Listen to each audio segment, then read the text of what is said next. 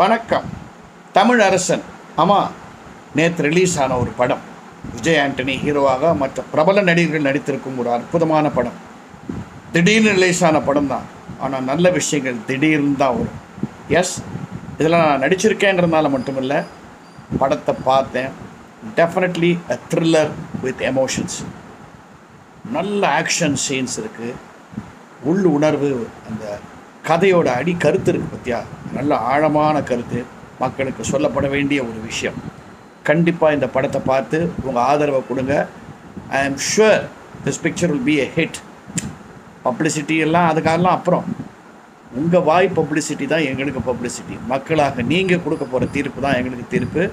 Tamilarasan it's a very good picture நான் as an audience பார்த்து ரசித்தேன் அப்புறம் தான் அதில் நடித்த ஆக்டர்